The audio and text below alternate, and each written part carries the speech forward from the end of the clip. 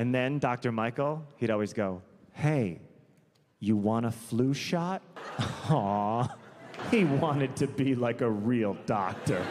I go, No, Michael, you already gave me two flu shots this month, man.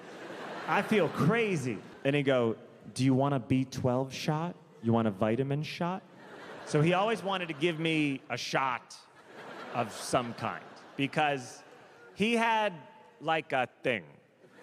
I mean, look, a guy named Dr. Michael that works out of his apartment is gonna have a thing. Michael's thing was he wanted guys to take their shirts off in his apartment.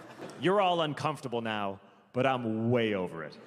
And also, if you think this story ends with me being like, and I said, absolutely not, you're about to be so disappointed.